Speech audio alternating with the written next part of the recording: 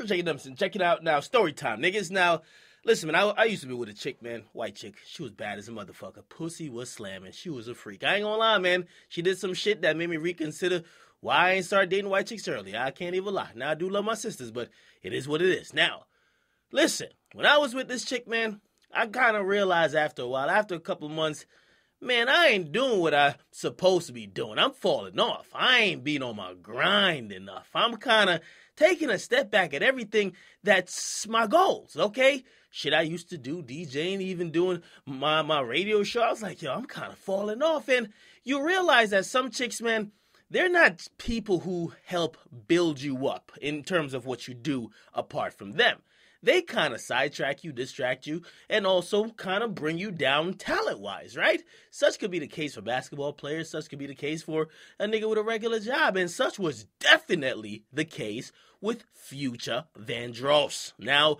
Future, he been lit since forever, since Racks on Racks days, all right? He gets with Ciara. Oh my God. Man, Ciara was one foot in and one foot out of the music industry because she was ice cold. He got with Ciara and basically just wasn't the same. Like Future music was alright back then, right? Then Future kind of let her go free. You gotta let some of these birds go free.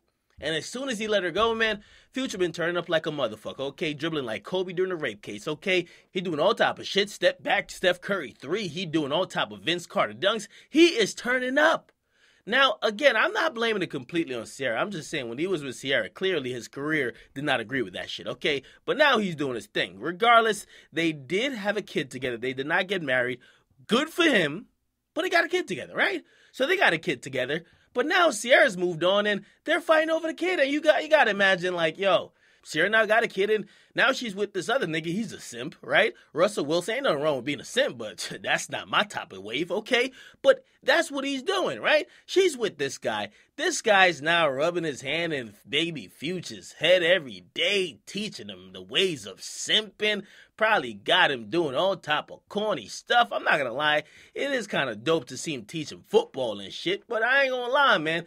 Listen, Russell, you better wait till your baby pops out of her stomach, man. You're doing too much with baby Future, okay?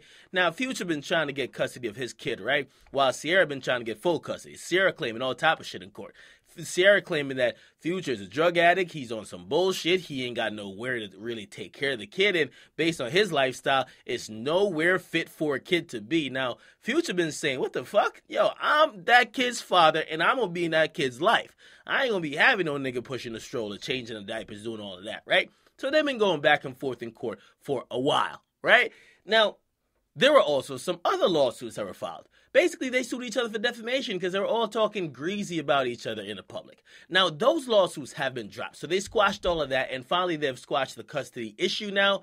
Uh, they will be split in custody of baby future, which means both parents have custody over the kid and they'll determine when the kid hangs or stays or lives with future as opposed to Ciara, right? It's different than just one parent having custody because then it's really at the discretion of the parent and the court when you even see your own kid, and that's never cool. So I think this is actually the most fair way how to do everything. It's just kind of sad that Family court usually just doesn't go this way. Family court usually favors the mom, right? The the family court sees the mom as the more caring individual and usually the more responsible and more fit person to raise a kid and just give the kid completely to that parent. So I'm kind of glad that it turned out. I don't think Future is mad about it turning out like that because I think he just want to be a part of his son's life.